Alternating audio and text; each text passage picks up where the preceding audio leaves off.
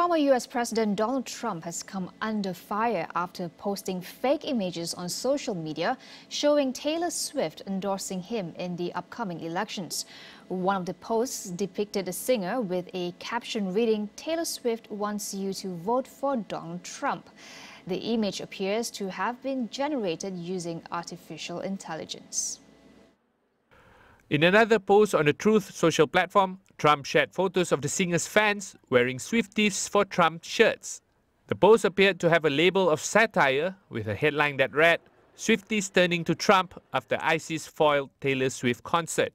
This referred to Swift's recent cancellation of concerts in Vienna due to a security threat, which led to the arrest of two individuals suspected of planning attacks inspired by the Islamic State group.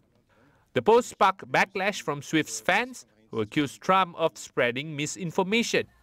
The singer has not endorsed any candidate for the 2024 election, but supported the Democrats in 2020 and criticized Trump during his presidency.